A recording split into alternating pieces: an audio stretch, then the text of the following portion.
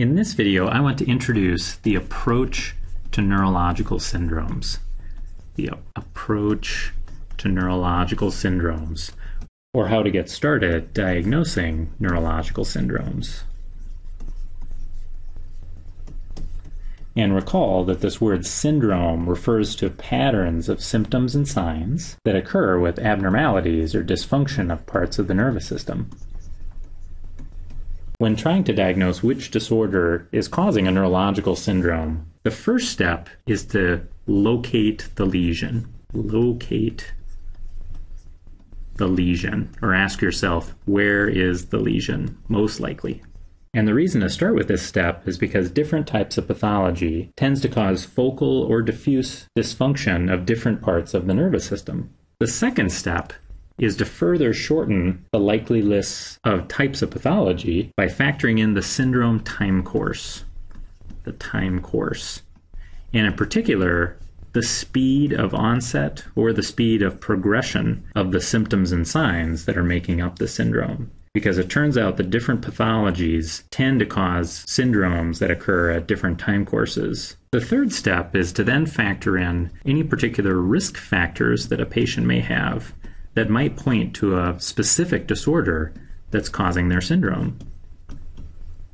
By following these steps, you end up with a list of likely disorders causing the neurological syndrome ranked in order of probability from which is the most likely to which are less likely. And we call this sort of list the differential diagnosis.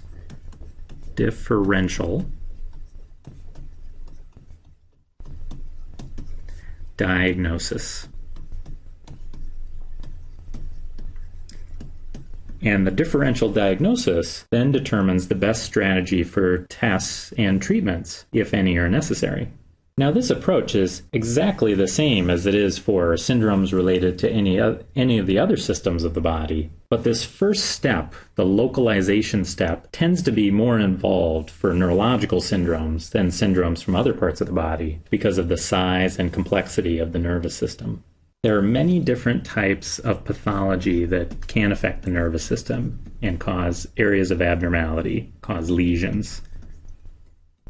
And all the different neurological disorders can be organized in different ways into different categories of pathology. The way I like to categorize the different types of pathology is into the following 11 groups. But again, people do it lots of different ways. So whatever system works for you is just fine.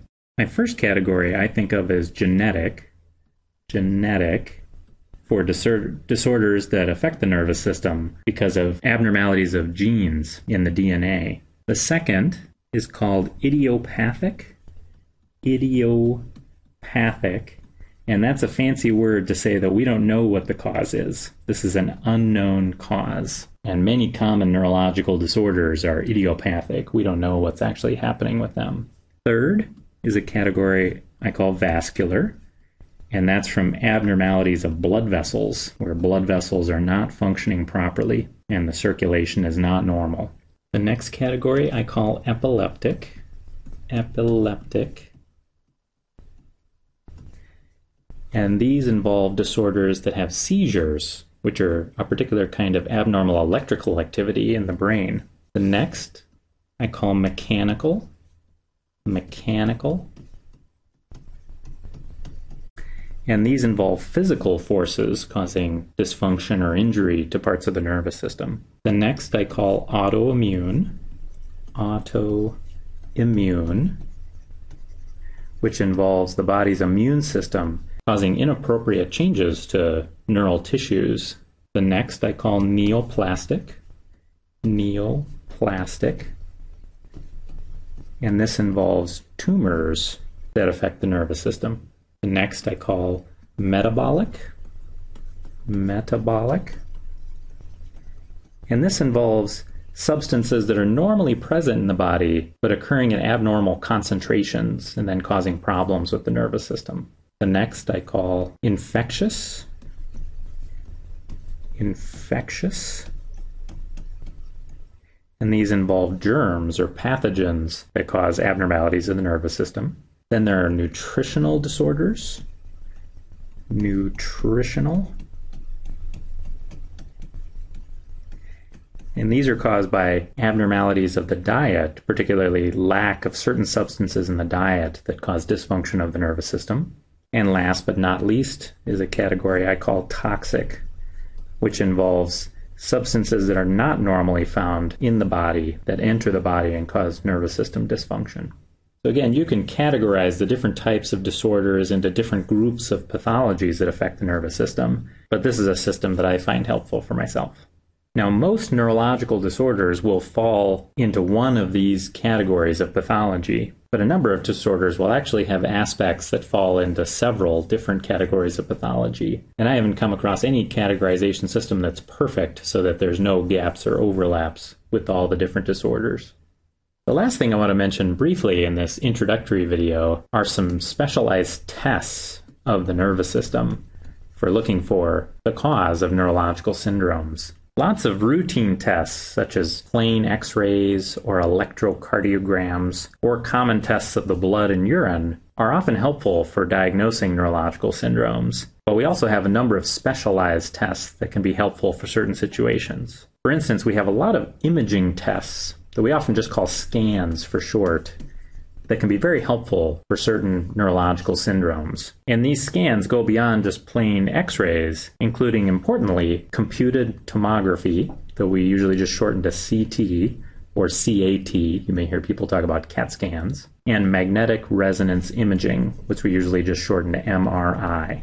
And these two ways of making scans are particularly helpful for looking at the central nervous system tissues, the tissues of the brain and the spinal cord. These scans will also let us look at blood vessels and the structures that surround the central nervous system tissues. Next are a couple of electrical tests that are particularly good at looking at the nerves in the peripheral nervous system. And these are nerve conduction studies and electromyography. And since those are both long names, we often shorten that to NCS for nerve conduction studies and EMG for electromyography. And these tests look at the electrical properties of nerves in the peripheral nervous system, as well as skeletal muscle tissue. And abnormalities found with these tests can be very helpful for certain kinds of neurological syndromes. Next up is the electroencephalogram, which we shorten to EEG for electroencephalogram. And that's also an electrical test, but that lets us look at certain abnormalities of the brain, and in particular the cerebral cortex, the layer of, of the brain right on the outside of the cerebrum. Another useful test is called lumbar puncture. I'll just write LP for short for lumbar puncture. And that's a test where we use a needle to withdraw some fluid called cerebrospinal fluid. And this fluid flows around the brain and the spinal cord. And by taking a sample of cerebrospinal fluid with the lumbar puncture, we can detect certain abnormalities of the tissues in or around the nervous system. And lastly, sometimes we need to take a small piece of tissue and send it to the laboratory. We call that a biopsy. And for neurological syndromes, sometimes a biopsy is helpful of skeletal muscle, or of a nerve, or sometimes even the brain in certain situations.